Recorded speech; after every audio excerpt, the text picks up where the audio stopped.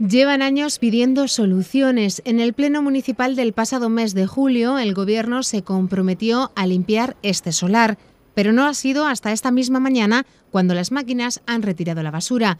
Los vecinos habían convocado la protesta hace unos días. Como hoy este, que es un despropósito lo que se ha hecho, limpiarlo tan rápido, pero que le damos las gracias, a ver si esa rapidez que ha tenido y ha ejercitado hoy, seguimos con los 28 restantes que quedan aparte del que queda enfrente de este, que podían haber continuado. Porque la situación de los solares es... Lleno de ratas, lleno de pulgas, con moscas, de todo.